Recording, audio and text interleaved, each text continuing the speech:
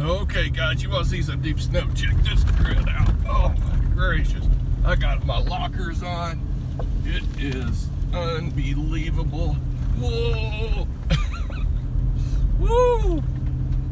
This is like a couple of feet deep minimum. Over here on this side of the road where it's drifted in, we got a truck stuck up here. These drifts are just ridiculous. Look at this coming over my side over here. All right, yeah, we got one stuck now. It's cleared off over here. It's drifted in on my side. Let me see if they're stuck. You got a fellow coming. I, Thank you. okay. Oh boy, stuck right in the middle of the road. So uh, anyway, you do not need to be out today unless you got a good four-wheel drive.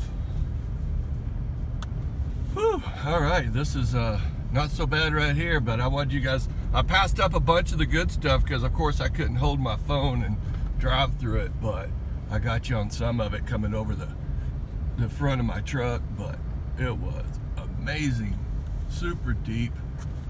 We won't drive around this because they'll get it all punched down and turn it to ice. But anyway, guys, I've seen some really nice drifts today. We're at work.